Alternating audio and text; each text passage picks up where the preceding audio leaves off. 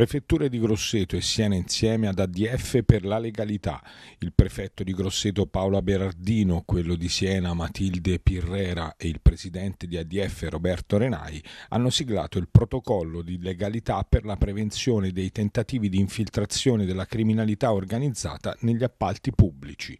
Un'iniziativa congiunta che dà un segnale forte e concreto su un tema di grande attualità e rilevanza economica e sociale. Questo è un momento storico dove c'è c'è un grosso giro di affari e quindi bisogna assolutamente tutelare questo territorio che è sano e storicamente non presenta infiltrazioni criminali, non è stato comprovato in alcun modo, quindi bisogna continuare a mantenere il territorio così com'è sano, eh, con questo senso di civiltà e di legalità. Il territorio è sano, ma questi eh, strumenti sono importanti per poter continuare ad avere un controllo sia dei rapporti così stretti con la stazione appaltante. Il protocollo accende un riflettore su tutto quello che è il percorso della legalità e le infiltrazioni mafiose nel nostro territorio e altro tipo di criminalità organizzata. Quest'anno noi abbiamo messo a terra 44 milioni di euro e credo siamo la centrale committenza più importante della provincia di Grosseto e tra le più importanti della provincia di Siena, ma abbiamo